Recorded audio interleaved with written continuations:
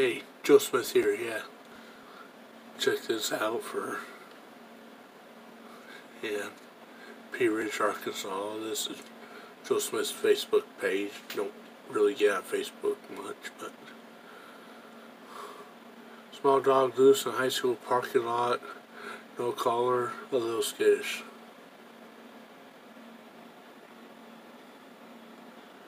Um, yeah. Joel Smith is pretty sure that's a fox. Not a dog. Might be why it's a little skittish.